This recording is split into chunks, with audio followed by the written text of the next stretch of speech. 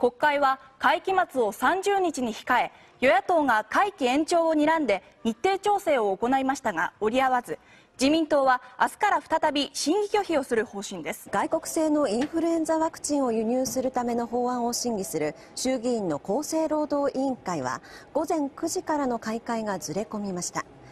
与党は自民党や公明党などに出席を呼びかけましたが応じなかったため消費税法案の採決で大量の造反議員が出たことについて自民党と公明党は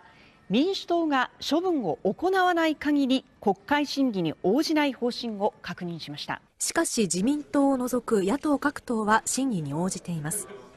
そのため与党側は今日から子ども手当法案の審議にも入る方針です田中防衛大臣と前田国土交通大臣に対する問責決議案をめぐり2人の辞任がなければ全面的に審議拒否するという自民党の方針を公明党の山口代表が厳しく批判しました。今日の未明に返済猶予法案の採決を強行した与党は今日も重要法案の採決に踏み切る構えで自民党など野党はボイコット戦術に出ています。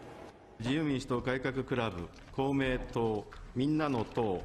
所属委員のご出席が得られません。これを受けて自民党は明日から衆参両院で審議をボイコットしますが公明党は審議に出席する方針で野党内に足並みの乱れが出ています。さらに自公両党は衆議院で予算委員会の開催を求め政党の在り方について野田政権の姿勢を追及する方針です